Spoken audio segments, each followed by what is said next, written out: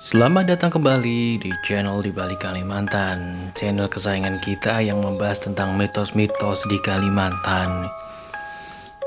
Di Kalimantan, kita mengenal adanya hantu suluh. Hantu apa itu? Sejenis hantu pembawa obor di tengah malam. Suluh menurut KBBI adalah barang yang dipakai untuk menerangi Biasanya kita memakai daun kelapa kering atau damar ketika kita berada di kondisi gelap. Suluh juga berarti obor. Menurut kepercayaan masyarakat Bahari, hantu suluh dipercaya sebagai jin atau siluman pencari ikan.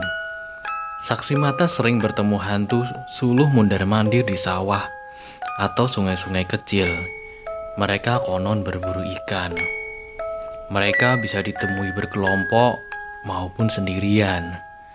Dari jauh, penampakannya sekilas mirip obor terbang sendiri. Namun ada yang bilang kalau hantu ini mirip wanita tua pembawa obor. Ada yang berpendapat bahwa hantu ini seperti memiliki tangan dan kaki berselaput. Mungkin mirip hantu kapa yang ditemui Om Hao di Jepang bersama Billy Christian dan Citra Prima. Orang-orang mencari katak di malam hari besar kemungkinan bertemu makhluk ini di malam hari. Konon, hantu ini tidak mengganggu manusia. Jika didekati, hantu ini justru pergi dan bahkan tergesa-gesa meninggalkan tangkapannya untuk kita ambil. Namun ada mitos lain yang menjelaskan bahwa hantu ini ketika berwujud wanita tua dapat memancing rasa simpati kita untuk mendekatinya.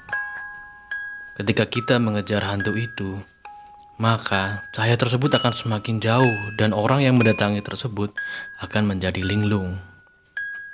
Ia akan tersesat dalam hutan belantara tanpa ujung dan lupa akan jalan pulang. Mitos lain mengatakan hantu ini suka mengganggu orang memancing. Ketika sang pecandu pancing tertarik mendekati cahaya obor, cahaya obor semakin menjauh.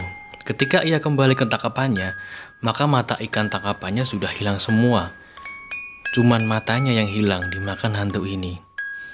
Ada suatu kisah di salah satu danau di Kalimantan Selatan ketika ada seseorang pemancing, dia malam-malam bertemu hantu ini. Lalu ia kehilangan banyak ikan tangkapannya. Ikannya utuh, bukan hanya matanya yang hilang. Ada kisah lain ketika seseorang pernah memancing dari jam 9 malam sampai jam 2 malam.